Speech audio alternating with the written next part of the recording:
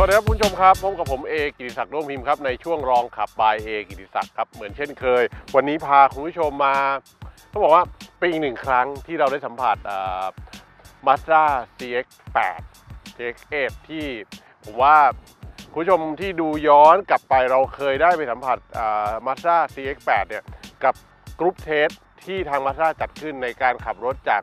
จังหวัดเชียงใหม่ ไปจังหวัดเชียงรายมาครั้งแล้ว ตอนนี้ผมนำรถ CX8 ในเวอร์ชั่นท็อปสุดที่เรียกว่า XDL Exclusive เนี่ย มาให้ผู้ชมสัมผัสอีกครั้งหนึ่ง วันนี้เราจะมาดูเจาะลึกในเขาเรียกว่าในการใช้งานกันว่า long term ที่มากขึ้นนิดนึงเนี่ย เป็นอย่างไรบ้าง ก่อนอื่นต้องแนะนำเท้าความนิดนึงเผื่อหลาย ๆ ท่านอาจจะยังไม่ได้ดูกับคลิปที่แล้ว วันนี้เท้าความหมดว่า Mazda CX8 มีทั้งหมด 4 รุ่น 4 เวอร์ชันรุ่นแรกนะครับ จำหน่ายที่1 5 9 9 0บาท ในเวอร์ชัน 2.5S ก็คือเครื่องยนต์เบนซิน2005ไม่มีเทอร์โบ และอีกหนึ่งรุ่นกับ 2.5 SP ซึ่งขยับราคาขึ้นมาแพงขึ้นมาอีก1 0 0 0 0 0บาท1 6 9 9 0 0 0 บาท ซึ่งจะต่างกันในเรื่องของออปชันซึ่งนับว่าเป็นรุ่นท็อปสุดนะครับใน 2.5 SP เนี่ยเป็นรุ่นท็อปสุดในเวอร์ชันเบนซิน แต่เวอร์ชันที่เราพาผู้ชมรู้จักวันนี้คือเวอร์ชันเครื่องยนต์ดีเซล SKYACTIV-D 2.2 ในเวอร์ชันเรียกว่าที่มีความอเนกประสงค์มากขึ้น เบาะมีในทั้งรุ่น 7 ที่นั่งและ 6 ที่นั่ง 7 ที่นั่งจะเป็นในรุ่น XDL ที่ราคา1 8 9 9 9 0 0 บาท แต่วันนี้เราพาผู้ชมมาดูในเวอร์ชันท็อปที่เขาเรียกว่าเบาะแบบ captain seat ในเวอร์ชัน XDL Exclusive ที่มีราคาจำหน่ายอยู่ที่ 2 ล้าน 6 0 0 0 9,000 บาท แล้วเดี๋ยวเรามาดูว่าใน detail ของตัวรถแตกต่างกันตรงไหนบ้าง เดี๋ยวดูด้านข้างอีกนิดหนึ่งครับ ว่ามีความแตกต่างระหว่าง Mazda CX-8 กับ CX-5 ที่หลายๆคนคุ้นเคยกันดูด้านข้างครับ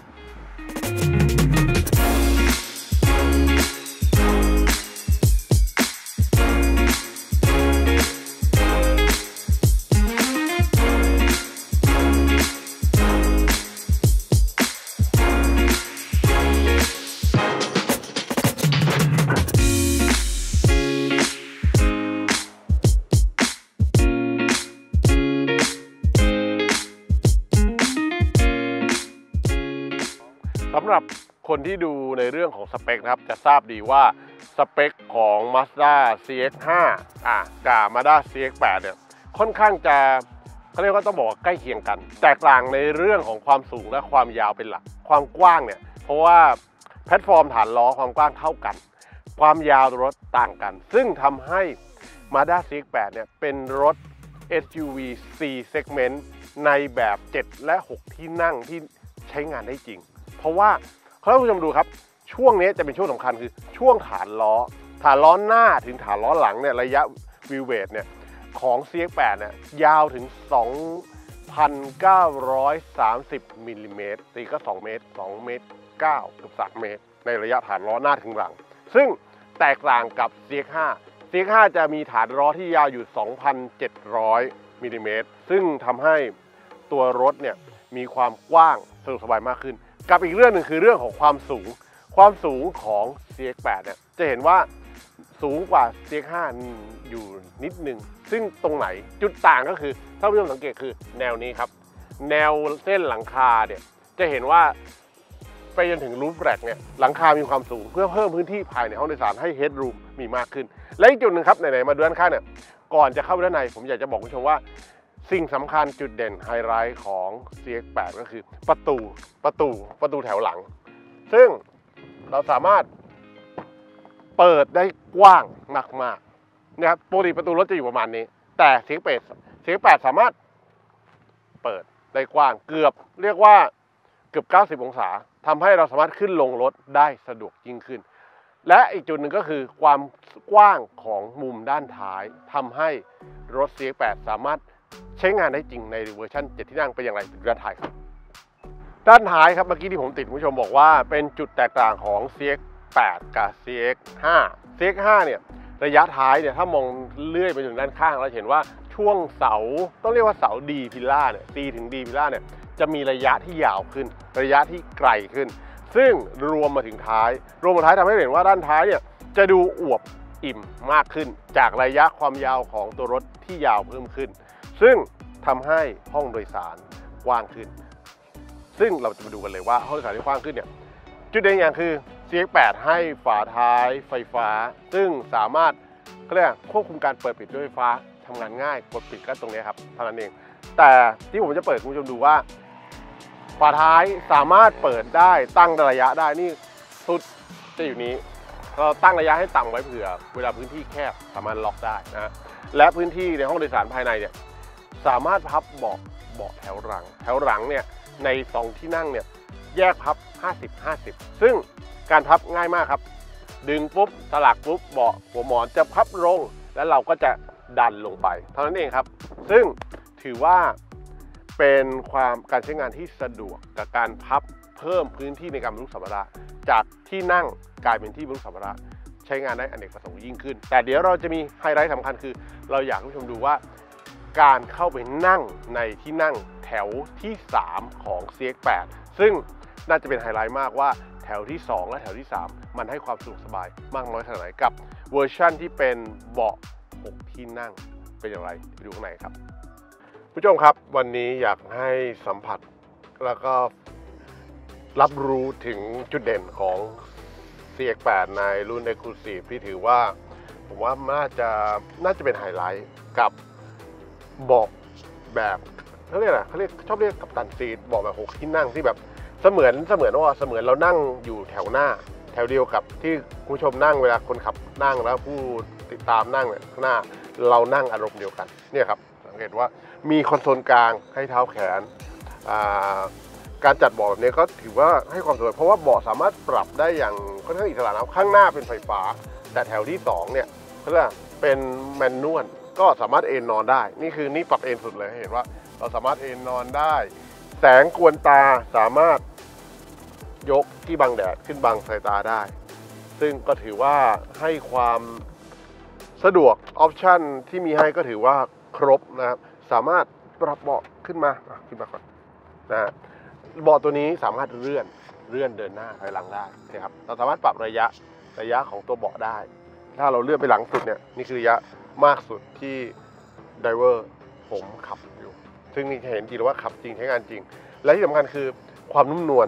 ความนุ่มนวลในการนั่งในแถวที่สองเนี่ยอะวันนี้ผมขอแบ่งนิดนึงในมาตราเอมิเตอร์หนึ่งว่า ผมขอย่อยย่อยคือความสะดวกสบายภายใน ในมาตราเอมิเตอร์ผมให้ความสะดวกสบายภายในห้องโดยสาร ความนุ่มนวลของช่วงล่าง ในตำแหน่งที่นั่งแถวที่สองเนี่ยผมให้เก้านะ ในมาตรานี้ ซึ่งให้เห็นเลยว่าสะดวกสบายใช้งานได้อย่างสบายแอร์ปรับได้มีทั้ง auto ปิดเปิดทุกอย่างอยู่ที่นี่แหละครับที่คอนโซลกลาง ซึ่งทำให้เราสามารถควบคุมแอร์ตอนหลังเนี่ยอิสระเป็น3โซนด้านหน้า 2 แยกซ้ายขวา ด้านหลังเนี่ย1โซนเนี่ยคุมได้อยู่นี่ครับ และที่สำคัญคืออ๋อสเปคเนี่ยเบาะตัวเนี้ย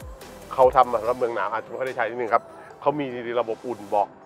มี 3 ระดับครับเนี่ยหนึ่งสองสามกด ซ้ายเบาะซ้ายเบาะขวาอุ่นได้นะฮะซึ่ง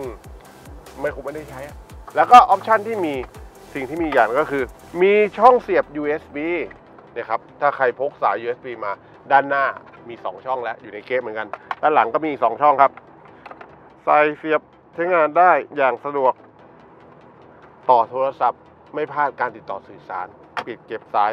ไม่ใช้ก็เก็บไว้ มีเก๊เก็บของสะดวกสบายยิ่งขึ้น ไฟข้างบนครับ มีไฟ LED เป็นไฟอ่านหนังสือข้างบนให้ครบ ถือว่าแถวที่ 2 เนี่ย อย่างที่บอกครับเอมิเตอร์ให้ 9 เลย เดี๋ยวไปดูแถวที่ 3 ว่าเอมิเตอร์ให้เท่าไหร่ครับดูแถวที่สามครับ จากประตูที่เปิดได้กว้างครับคุณผู้ชม เราสามารถเข้าออกได้อย่างสะดวกในแถวที่ 2 แล้วที่สำคัญคือในการขึ้นลงแถวที่ 3 เนี่ย เราสามารถเข้าอย่างไรพับมา เบาะจะถูกพับแบบเลื่อน เบาะไม่ใช่ระบบที่พับกระดกไปแล้วกดมาใช้เลื่อนครับ เลื่อนปุ๊บสามารถก้าวเข้าสู่ตำแหน่งของแถวที่ 3 ได้เลย อย่าลืมอย่าลืมปิดประตูด้วยนะครับ ซึ่งตัวเบาะเนี่ยทำให้เราเข้าออกได้สะดวกประตูกว้าง เบาะเลื่อนไปข้างหน้า เข้าออกสะดวกและต้องบอกว่าเป็นสิ่งที่อาจจะเป็นความรู้สึกส่วนตัวนะ ผมค่อนข้างจะเสียวกับเบาะที่ชอบแบบพับกระดกไป เพราะเวลามันกลับเนี่ยคุณผู้ชมอาจจะต้องระวังในตำแหน่งที่มันเขาเรียกสับล็อกไปเนี่ยมันจะเสียวเท้ากลัวโดนเท้าตัวเอง แต่อย่างเงี้ยสบายครับ เพราะเราสามารถเนี่ยเลื่อนกลับมาตำแหน่งเดิม ล็อกนะฮะนี่คือตำแหน่งของเบาะถอยหลังสุดนะ ผมสามารถนั่งในตำแหน่งข้างหลังได้อย่าง ก็ถือว่าพอดีเลย เล็กรูม มีไม่มากนัก แต่ต้องบอกว่าอันนี้คือเราเฉลี่ยที่นั่งเนี่ยเรายังไม่ได้เฉลี่ย เราเฉลี่ยที่นั่งเนี่ยมาข้างหลังเนี่ยค่อนข้างจะมาก แต่ถ้าเกิดเราเลื่อนอะถ้าเราเลื่อนเราปรับเลื่อนนิดนึงนะครับเดี๋ยวปรับเลื่อนนิดนึง ให้เบาะเนี่ยมันขยับไปตำแหน่งของการอยู่ข้างหลังอาจจะปรับยากนิดนึงไม่เหมือนข้างหน้า แวบกลับมานะลองปรับเบาะให้แล้วว่า เราเฉลี่ยเฉลี่ยเบาะใหม่คือให้แถวกลางเนี่ย มีระยะเล็กรูมเนี่ยน้อยลงนิดนึง จากเมื่อกี้ผมลองแล้วเล็กรูมถ้าเอามากเนี่ยนั่งสบายเลย เราลองเฉลี่ยให้น้อยลงนิดนึงปุ๊บเล็กรูมในแถวที่ 3 ก็จะมากขึ้น มากกว่าเมื่อกี้ เมื่อกี้ผมจะเห็นว่า เรียกว่าจะพอดีพอดีระยะชนกันพอดี คือตัวหัวเข่าเนี่ยจะวางแตะแนบกับเบาะคือแบบไม่ได้เบียดแต่ว่าพอดี แต่ตอนเนี้ยมีระยะเล็กรูมเนี่ยมากขึ้นเมื่อเราเฉลี่ยตำแหน่งที่นั่งทำให้แต่ว่าเห็นว่าเราสามารถใช้งานแถวที่ 3 ได้อย่างสะดวก ไฟตรงนี้ครับสามารถเปิดได้แต่เปิดจากด้านหน้ามา และสำคัญคือด้านข้างเนี่ยด้านข้างเนี่ยมีที่ใส่ของ ถ้าคุณผู้ชมองในข้างสองข้างนะครับ จะมีที่ใส่ของสามารถใส่ขวดน้ำขวดใหญ่เนี่ยตั้งได้ ให้ความสะดวกนะฮะขวดน้ำลิตรครึ่งเนี่ยสามารถตั้งได้วางของได้ ในความนุ่มนวลผมบอกว่ารถ CX8 set รถมาให้นิ่มระบบช่วงล่างอิสระด้านหลังเนี่ยช่วย support ให้ตัวรถเนี่ยขับได้สนุก ระดับหนึ่ง แต่เน้นยิ่งคือเน้นการนั่ง เรามาเป็นผู้นั่งในแถวที่3เนี่ยเอมิเตอร์ผมให้ในที่นั่งแถวที่ที่3สำหรับรถ SUV C แบบ7ที่นั่งอะผมให้ผมให้ 9 นะ ให้ 9 เหมือนกันเลย ในแถวที่3นะเดี๋ยวเหลืออีกนิดนึงเหลือแถวที่ 1 ว่าเป็นอย่างไร เดี๋ยวไปลองในแถวที่ 1 แล้วฟีลลิ่งการขับกันครับสักครู่มาถึงเอมิเตอร์ใน แถวที่ 1 เมื่อกี้เรา 2 3 ไปแล้ว3ได้9เลยนะ แต่จริง 9 เนี่ย ผมให้เรื่องความสบายที่ทำได้จริง ต้องบอกว่านั่งได้จริงๆเป็นเจ็ดที่นั่งที่นั่งได้ ตัวอย่างผม 177 เนี่ย สูง 177 น้ำหนัก 90 เนี่ย ผมสามารถนั่งได้นะครับคุณผู้ชมนี่เห็นเลยว่านี่คือ SUV C segment ที่ 7 ที่นั่ง 6 ที่นั่ง และ 7 ที่นั่งจริง วันนี้บอกก่อนเพราะว่า มันมีตัวเวอร์ชัน2.5 และเวอร์ชัน XDL ที่เป็น 7 ที่นั่ง แต่พอดีคันนี้เป็นเบาะแถวที่ 2 แบบ 2 ที่นั่งก็เลยเรียกว่า 6 ที่นั่ง ซึ่งมีผลว่าแถวหลังสามารถนั่งได้จริงๆนะครับ ซึ่งอีกอย่างหนึ่งก็คือขอตีนิดนึงในตำแหน่งของแถวที่ 3 เนี่ย เรื่องของแอร์ ผมว่าขาดไปนิดเดียวเรื่องของแอร์แอร์เนี่ยมันเบา มันไปถึงแผ่วๆอะครับ ถ้าถ้าจริงๆ ถ้าบอกว่าถ้าสามารถได้แอร์แบบรถ MPV ที่ไม่แอร์แบบเรียกอะไรเราเรียกแอร์ราวข้างบนเนี่ยมันน่าจะ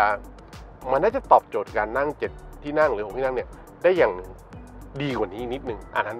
สำหรับแถวที่ 3 นะอะกลับมาแถวที่หนึ่งในมุมของการนั่งการขับขี่เนี่ยเราจะรู้สึกว่ารถมาสด้าเนี่ยเป็นรถที่ขับสนุก โดยส่วนใหญ่ฟิลของการขับถือว่าเป็นรถที่เซ็ตรถให้มีช่วงล่างที่นึบแน่นขับสนุก แต่สำหรับใน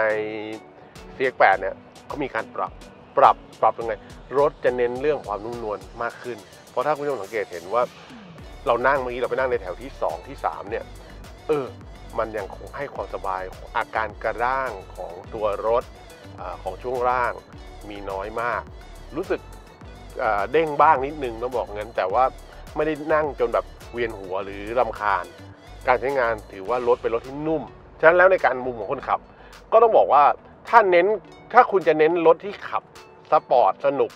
ผมว่ามองข้ามไปดูเซ็ก5ดีกว่า แต่ถ้าคุณเน้นรถที่ใช้งานได้จริงไปด้วยกันได้ทั้งครอบครัว